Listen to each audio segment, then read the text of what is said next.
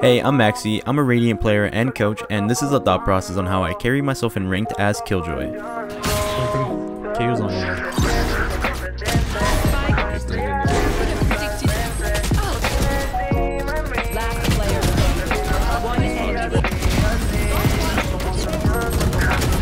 You guys enjoy the whole video, don't forget to subscribe, like, and comment, it really helps the channel. So in this first clip, it's pistol round, and my team is doing a full fast B hit, but rather than joining them, I decided to commit to holding mid control. Not only does my presence stall the rotate to the B bomb site, but also consider it like an insurance policy. If we as 5 committed to smashing B and got stuffed, these areas of the map would be a huge question mark. So instead, by having a handle on these parts of the maps, if need be, it will allow for easier rotates for my team. Lane, we're not calling that? Okay.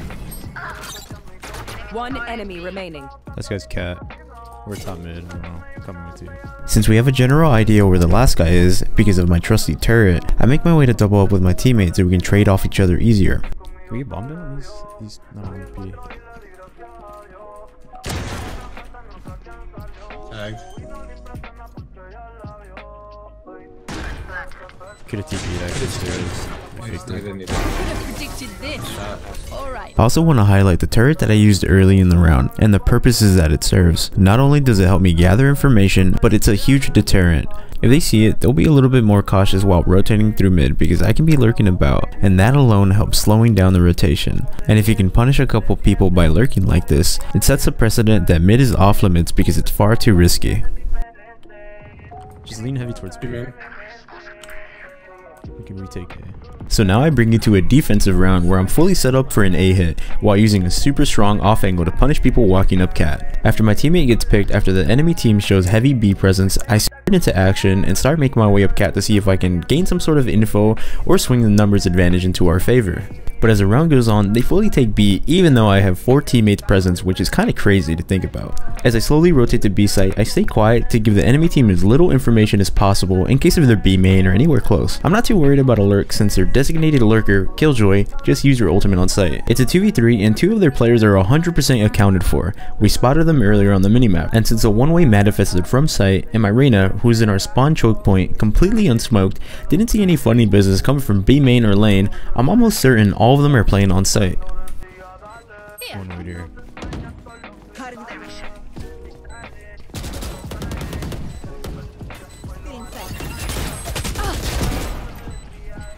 After the dart gets shot behind me, I quickly, without losing my crosshair placement, run towards an angle where I won't be scanned by it. I make sure to keep calm and steady my focus on the angles where I'd imagine they peak the soonest if they were to capitalize off of each other's util, and I'm rewarded by picking off the omen.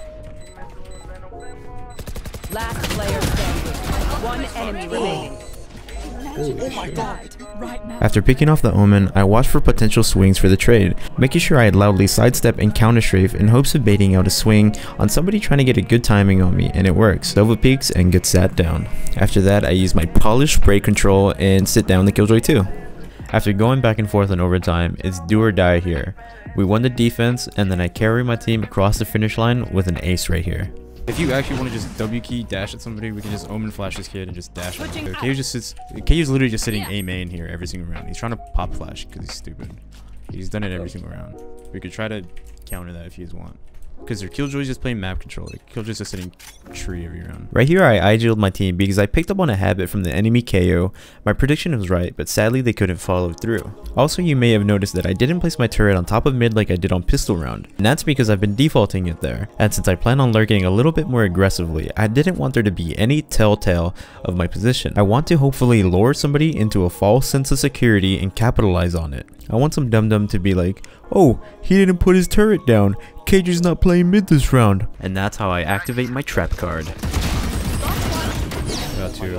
Ah, oh my god. Wait. And my lurk worked perfectly.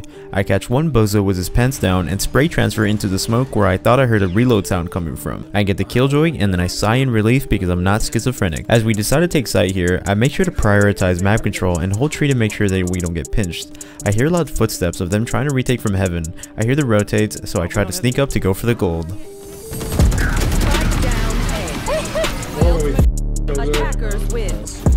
In this clip, I'm going to show you that Killjoy isn't just lurking and trap plays.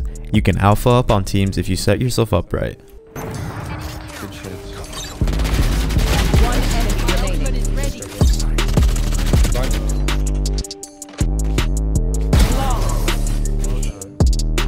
The key thing about this play is this turret right here. Her turret is so flexible because you can use it as a consistent bait and switch partner for yourself just like I did.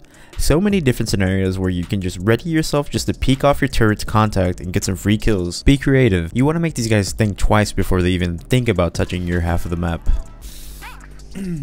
I'm setting up for a C hit. Here's another example on how you can set up your utility to bait for yourself to go huge and single-handedly hold down a site. I place my turret facing the entrance of C site to cause some sort of resistance, while I set up a nade trap in case the Jett dashes onto site in front of me. After that, I tuck in this corner that I haven't used before. I'm really confident this is gonna work because since they had a breach, they really loved hitting fast C. Or we take Get A. out of my way. A lot. Here's some C long. It's gonna be a C split. Raze mid, Raze mid, Raze mid. Yeah, C split. Can you smoke in front of you?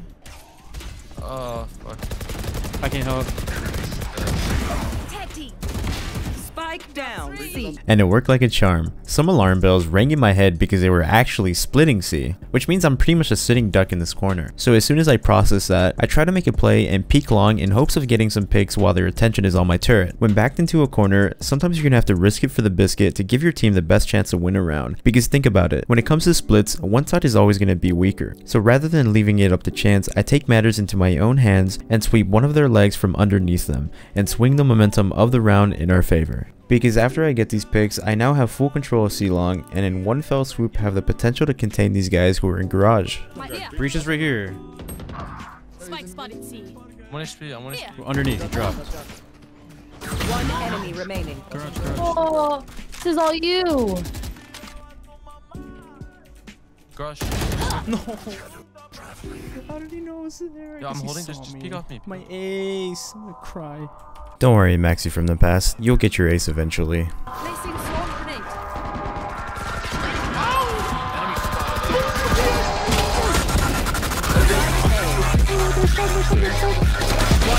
Let me get this ace. Let me get this ace.